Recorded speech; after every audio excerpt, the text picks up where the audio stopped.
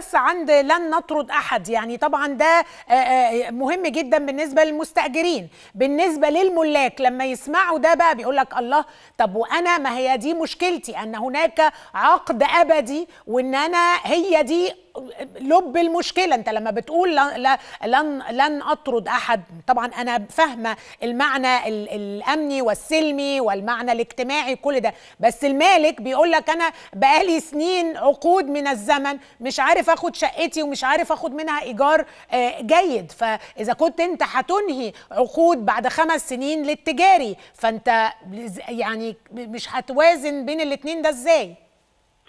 شوفي المالك إحنا قلنا كلام كتير في حقه اولا التحرك ده لصالح مين؟ خلي بالك ايا كان هو إيه؟ التحرك ده لصالح مين؟ لصالح المالك ولا المستأجر؟ يعني هو لازم يكون لصالح الاثنين بصراحة. هو ما هو بس أساسا. لصالح المالك لأن المستأجر سعيد بالوضع اللي هو فيه ده. برافو عليك. آه. هو هو هو نظريا يعني بشكل بدون ان انت تخشي في في عمق الموضوع قد يبدو من من الخارج كده ان هو لصالح الخطوة دي لصالح المالك. وبالفعل المالك قعد عقود ما حدش بيقرب له ما حدش بيفكر في في في, في حقه. فالخطوة دي من الإطار الخارجي هي لصالح المالك.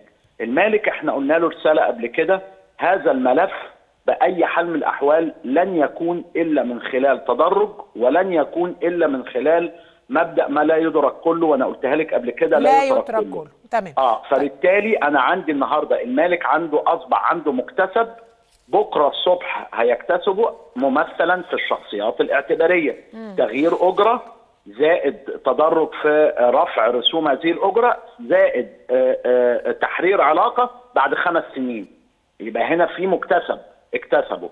نيجي للسكني والطبيعي. عندي أحكام محكمة دستورية صادره بترتب حقوق معينة للامتداد لابد إن هي ينظر لها ولابد إن هي تحترم والقانون يفصل بعض الإيه المسائل فيها. عندي شقق فاضية. الشقق الفاضية دي لازم طبعا هنديها بنصوص لا تقبل اللبس أو التأويل للمالك. فده مكتسب برضه له فاللي أنا عايز أنا بس مخلي بالي على إيه؟ والمالك من يعني كثير من الملاك الحقيقة اللي هم عندهم توازن في هذه العلاقة معانا وإحنا اتكلمنا مع أنا مخلي بالي على الأرملة يا أستاذة طبعا طبعا. اللي قاعدة في مكان. أنا مخلي بالي على أنا أصل النهارده يعني يا فرحتي طلعت يعني تشريع عمل مشكلة اجتماعية. ده يبقى إحنا النهارده كده إحنا عايزين حاجة تحقق العدالة بين الاثنين لأنك لو قلت أنا خايف على الأرملة هنا هيقول لك طب ما في أرملة هناك. يعني في برضو أرملة على الجانب الآخر. يعني الأرملة على الجانب الآخر محتاجة برضو توازن بين الجانبين. أحافظ على حقوق ده وحقوق الم... يعني لازم يبقى فيها ميزان كده من ذهب الحقيقة. عشان كده الميزان ده متحقق في إيه؟ متحقق في تغيير ال ال زي ما قلت لك الشخصيات الاعتباريه،. تغيير الأجرة، التطور في رسم الأجرة فيما يخص الحالات الثانية، يعني كل دي هتؤخذ في الاعتبار وإن شاء الله نصل لمرحلة من التراضي بين كافة الاطراف. سؤالي خطوتكم الجاية إيه؟ عندكم اجتماع يعني إزاي بقى هتبتدوا الخطوات القادمة؟